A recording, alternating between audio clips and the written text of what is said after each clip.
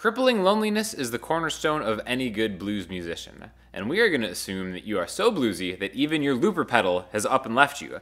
So, what do you do when you can't lay down a rhythm track to practice your blues licks? We're going to talk about, when in doubt, always minor pentatonic. So, what I mean by that is we're going to do a basic 12 bar blues thing, and we're going to cut in half the chord part and the lead lick practicing part with the minor pentatonic scale, right? So what we're gonna do is do something in the key of E minor. So the blues in E would be another way, or the blues in E minor would be another way to look at it, right?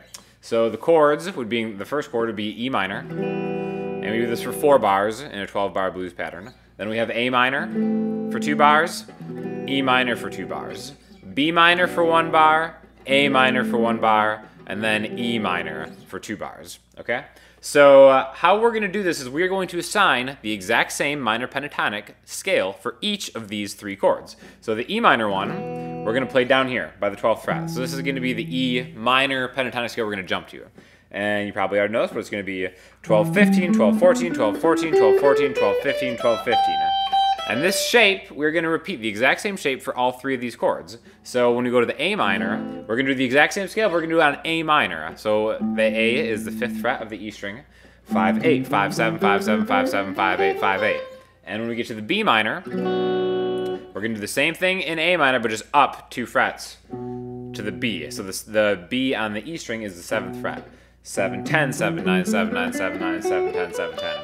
So how we're gonna do this, instead of playing like a, a, backing track like one, two, three, four, one, two, three, four, one, two, three, four, and back, we are going to cut in half each of these bars, the first half being the chord, the second half being a pentatonic riff. So we're gonna start with the E minor. And the way we're gonna do it is we're gonna have two beats of the chord, one, two, into the pentatonic shape. All right? And then we're to repeat that. One, two. And we're just to do a really simple lick in, from the E minor pentatonic scale that starts on the G string with a bend to the 10th fret, right? So the first part of the lick again is we're to slide into the octave E, which is the D string 14. So this is to be like the first lick.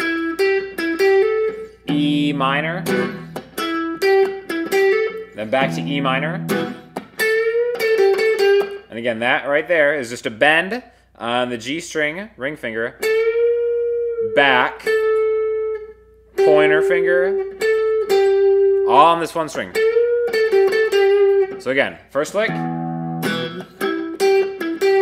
second lick. Okay, so that's going to replace kind of the backing track. We're kind of bringing them both in together. So now when we switch chords to the A minor, we're going to do the exact same thing, except we're going to do it in A minor pentatonic spot, right? So now we're dealing with this area of the neck right here. We're to do the same thing. For the first bar, and then for the second bar. So we've got...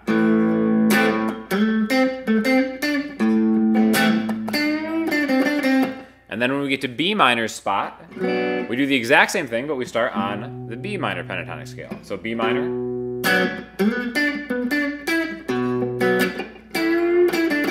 So now let's put them all together and create kind of like a 12 bar blues thing, just using the exact same pentatonic scale, albeit rooted on the note of the chord that we're kind of soloing over, however you want to look at it. So we start with the E. Second bar. Third bar fourth bar. To the A part, the second bar there, to E. The second bar there. To the B minor part, to the A minor part, to the E.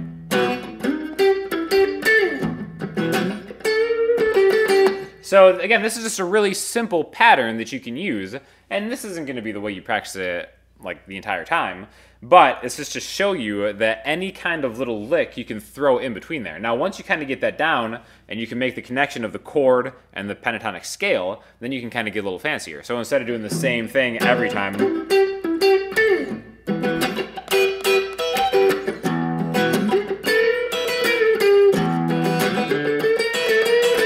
And again, that's all from the same thing. Then when you go to the A,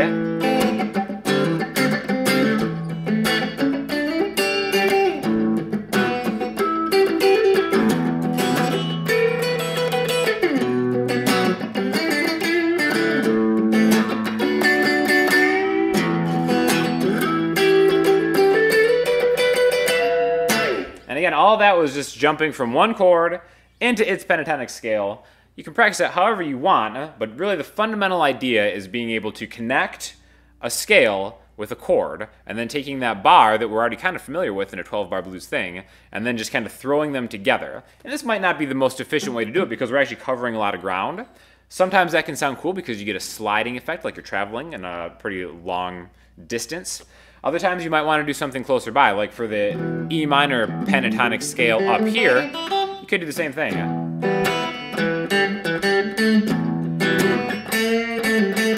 Again, so that would be a more efficient way to do it, but this is just an example of how you can just connect different shapes all around the neck into a 12 bar blues pattern.